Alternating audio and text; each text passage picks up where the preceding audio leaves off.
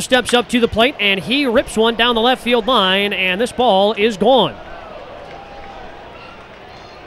Serrano just hit his first home run of the year, a line shot that hit off of the Budweiser Solid Rock rooftop deck area.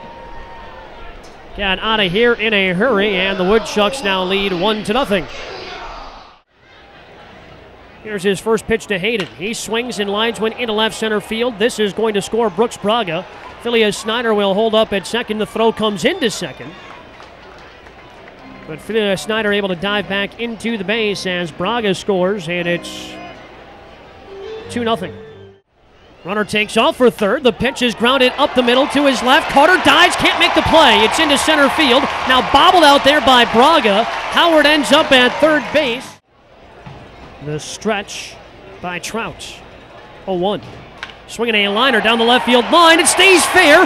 Caroms off the TDS triple play club, and it will score a run. Ruvicamp digging for second. The throw there is off target, and Ruvicamp has a two out RBI double.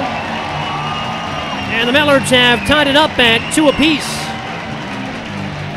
Just a sharp rocket down that left field line. It stayed fair, immediately kicked into foul territory, hit off the corner of the TDS triple play club.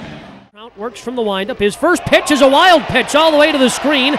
Zimmerman will score standing up, and the Mallards now lead 3 to 2. Ruvicamp advances to third on the wild pitch. And now things are coming unglued for the Wisconsin Woodchucks. At second base and the pitch. Swinging a ground ball through the hole on the right side for a base hit. Braga's going to round third, try to score. The throw by Marikov comes home. It's not going to be in time as Braga slides around Ruvicamp. And Hayden delivers once again. It's his second RBI hit of the ball game, and we are tied at three. One-two pitch.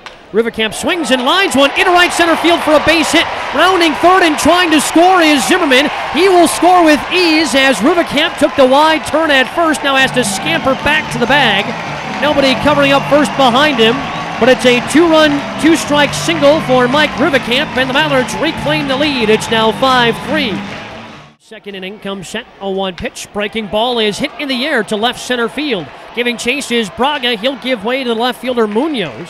Tagging and scoring from third is Nick Howard, and it's now 6 3 Madison. Aaron, uh, Shaft struck me out. Richard Roundtree. Swinging a ground ball up the middle. This one's going to make its way through into center field for a base hit. It's going to score a run. RBI base hit for Jackson Lowry. And the Wisconsin Woodchucks will cut into the Mallard lead. It's now 6 4 Madison. The one two pitch by Livingston, swinging a ground ball up the middle. It's into center field for a base hit, rounding third, heading for home. Here is Lowry. The throw will come into the shortstop.